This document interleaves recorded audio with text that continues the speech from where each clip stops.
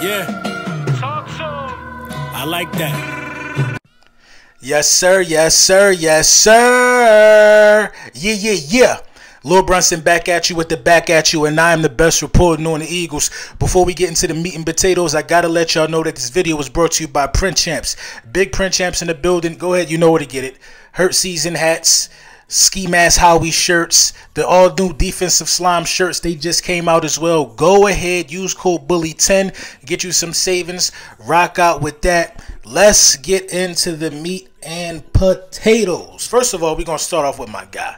We're gonna start with the QB one, Jalen Hurts. He's been um he's been listen, man. I hate to even I hate to even talk about this guy because at the end of the day, it all boils down to just the simple facts of the matter of him just being great. He's just great.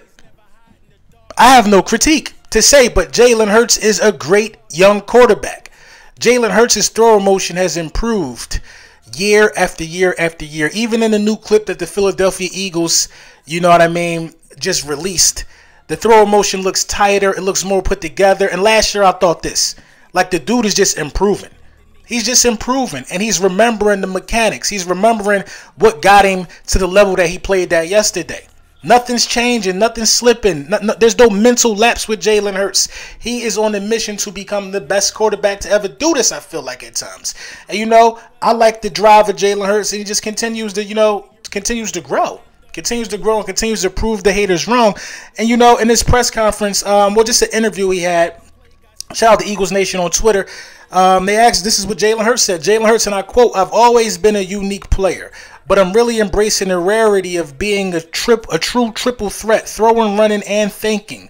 For a long time they said guys like me couldn't think, they couldn't process. So I'm trying to put that to sleep. That's crazy, man. That's crazy. How can you hate him? How can you hate somebody who wants to put a stigma like that to sleep and who's already doing it if you ask me? Number one in multiple passing categories last year. You know what I'm saying? No quarterback ran for more touchdowns than him last year. You know what I'm saying? I think he was second in rushing yards. For come on, and nobody made better decisions than Jalen Hurts. This thing evolved from a triple threat, evolved from a dual threat to a triple threat. Jalen Hurts is probably the first ever triple threat quarterback that the league has seen. Again, give me another guy that threw for 3,700 passing yards, 20 touchdowns, ran for 700 yards, and 10 touchdowns. It don't exist. And was number one in all those categories. It does not exist. The NFL has never seen anything like Jalen Hurts. And I think that's why the haters are confused. The haters will pull anything out of they pull anything out to try to denounce Jalen Hurts and what he brings to the game. But the people that matter, the people that voted him all pro, the people that put him in the MVP, the people that understand he's playing the game at such a high level, it's never even been duplicated. They're the ones we should be listening to. These guys in the division, they upset. They upset, man. Let's call a spade a spade. They look real crazy. Are they upset? They upset. They got to go to training camp. You know what I mean? They got to go to all of these places to see their team do the same thing that they was doing when they left the field. Dak still throwing picks. You know what I'm saying? He out here getting cursed out by Trevon Diggs. The commanders, they, they, they do the same thing. They huddle up. They huddle up. They out there in Sterling, not too far from my house. They out there in Sterling, by the BMW dealership. I know right where they at. They out there right now, hyping themselves up.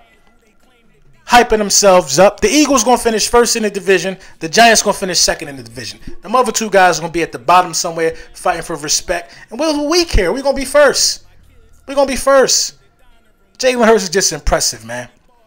Just impressive, man. We lucky to have him in Philadelphia, man. Let's talk about something else that been low key bothering me for real, for real.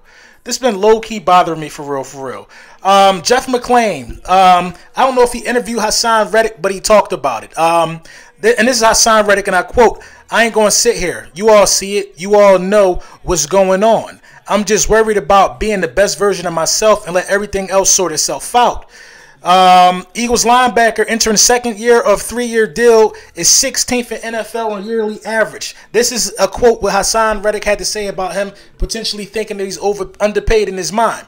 Haason Reddick is vastly overpaid. I said this last. I said this in the middle of the season.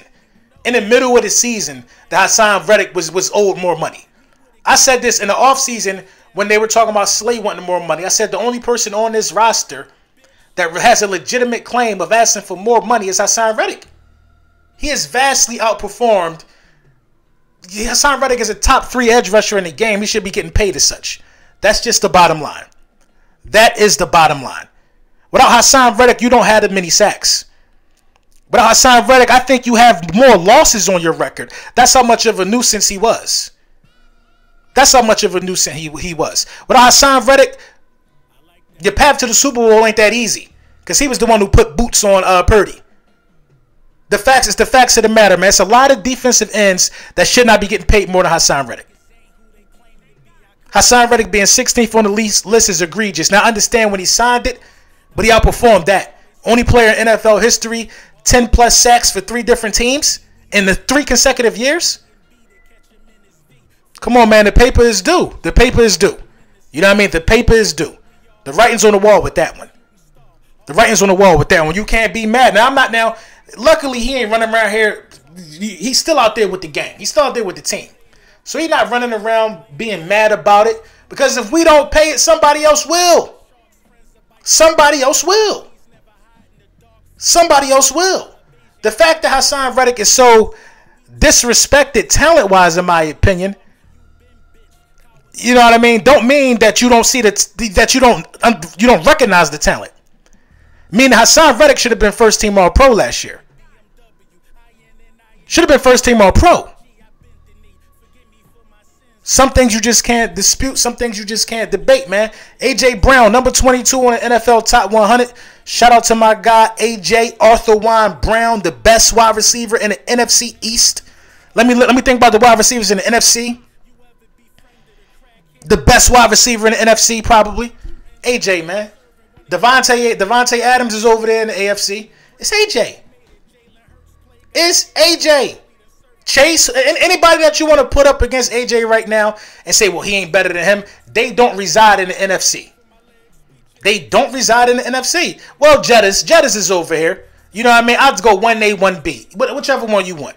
But AJ Brown definitely affects the game enough to be number 22 in the top 100. You know what I mean? I do not think it's. I, I actually think that's a perfect spot because you got a lot of good players in the NFL. To be 22 in the top 100 is amazing. You know what I mean? I thought Kelce was a little low, but 20, he almost cracked inside that top 20. AJ Brown is a dog for sure. Um, yeah, man. Training camp gonna continue. Me and Philly Mike gonna get together this weekend.